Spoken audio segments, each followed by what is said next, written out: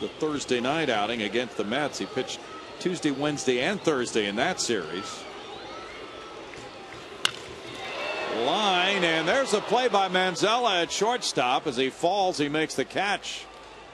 One out. The umpires were just looking to make sure he had possession. that ball might have been knuckling. That, that looked like it had a little funky something going on. First of all, it was really hit hard.